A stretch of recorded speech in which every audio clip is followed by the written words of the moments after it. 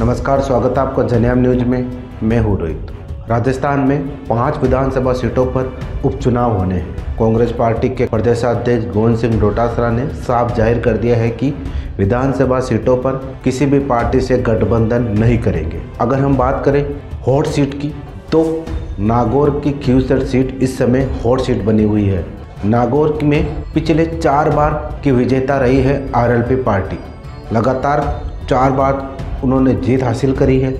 इस बार देखने की बात ये रहेगी कि क्या नागौर के कद्दावर नेता हनुमान बेनीवाल और आरएलपी पार्टी के प्रमुख अपने ही परिवार के किसी सदस्य को वहाँ से खड़ा करेंगे, यानी कि टिकट देंगे, या फिर किसी अन्य कार्यकर्ता पर वापस भरोसा जताएँगे। हनुमान बेनीवाल की जीत का अंतर काफ़ी कम देखने को मिला।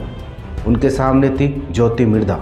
जिन्होंने बीजेपी पार्टी में सम्मिलित होकर बीजेपी पार्टी से टिकट लिया और हनुमान बेनीवाल के सामने चुनाव लड़ा, लेकिन उनको हार नसीब हुई।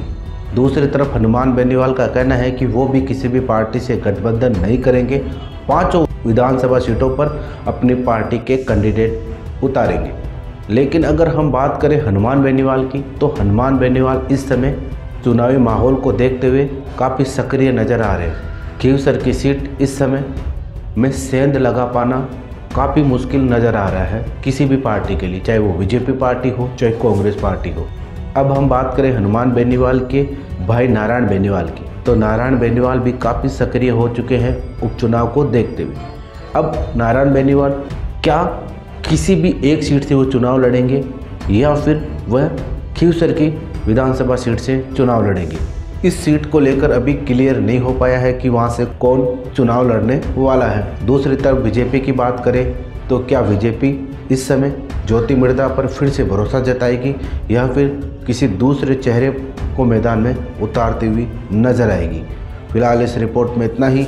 देखते रहिए जनयाम न्यूज़।